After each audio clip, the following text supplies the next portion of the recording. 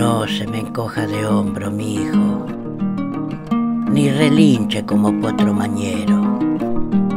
Mire siempre pa'l frente, que lo espera un largo sendero. Jamás espere que le aprieten el cinturón para saber o no lo que debe. Es mejor vivir con devoción que hacerse a un lado de sus propios deberes. El hombre no se hace hombre por milagro de Dios, ni aprende solo porque nació inteligente.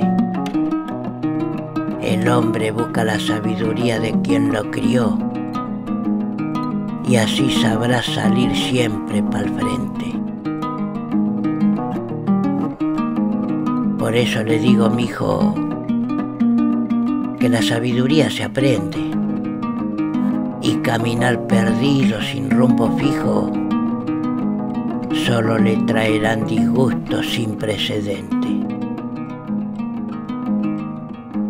Nadie aprende a correr sin caminar primero, ni nadie sabe que el fuego quema. Solo cuando uno se quema el cuero, siente que se le achicharra hasta el fondo el alma.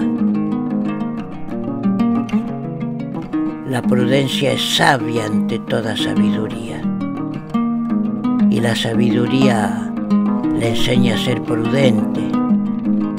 Es por eso que le pido no gaste energía y tenga sus valores siempre presentes. Cuando comience a cabalgar la vida, nunca se apure en llegar primero. Recuerde que para donde va hay un viaje de ida y sus pasos lo guiarán por un único sendero. Nunca quiera ser como el bueno, ni se compare con el malo, porque cada uno de los seres humanos guardan secreto que usted no querrá llevarlo. Aprenda a ser usted mismo en esta vida, acumulando siempre buena costumbre. Y no dependa de nadie para levantar su vida, porque usted será el autor de lo que obre.